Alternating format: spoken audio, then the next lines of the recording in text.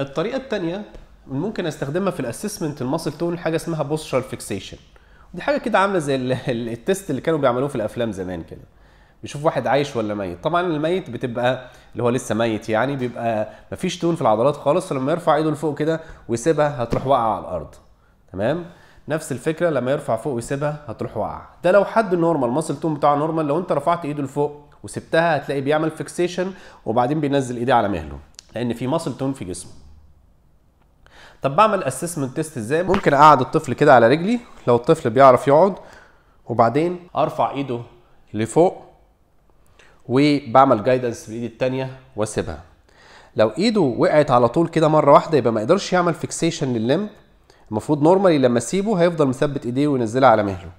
لكن لو هو hypotonic وإيديه وقعت مرة واحدة ده ممكن ناتج عن ال hypotonia ممكن ال hypotonia دي حاجة upper motor neuron وممكن تكون lower motor neuron زي ال brachial plexus lesion نشوف الناحية التانية مثلا يرفع إيده لفوق والإيد التانية أنا بعمل guidance ويسيبها.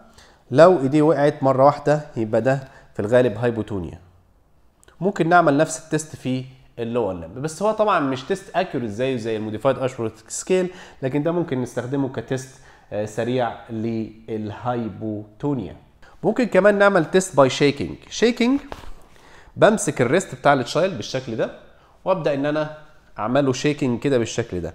لو لقيت ال- الحركة بتاعت الصوابع بتاعته flail flail يبقى عاملة زي آه، زي ما يكون حتة قماشة كده بتتحرك flail يبقى ده hypotonia normally هو يعرف يثبت صوابعه فيش أي مشكلة الحركة ما تبقاش flail تمام؟ كأنك ماسك قماشة وبتحركها كده تمام؟ نفس الفكرة بعمل shaking بمسك من ال wrist يعني بمسك من هنا كده. تمام؟ بمسك بالشكل ده كده واحرك خلاص؟ ما حدش يعملها لي بالشكل بقول كنت بقول لواحد اعمل لي shaking لواحد قام مسلم على الطفل وبيقعد يعمل له كده. وبيشوف دراعه hypotonic ولا لا. طبعا غلط انت بتعمل shaking عن طريق الهز مش بت... مش بتسلم عليه. نفس الفكرة هنا. بعمل shaking في ال lower limb بمسك ال ankle وأهزه كده شوية. لو لقيت ال- الحركة flail يعني حركة الصوابع بتاعته flail عاملة زي القماشة يبقى ده في الغالب hypotonia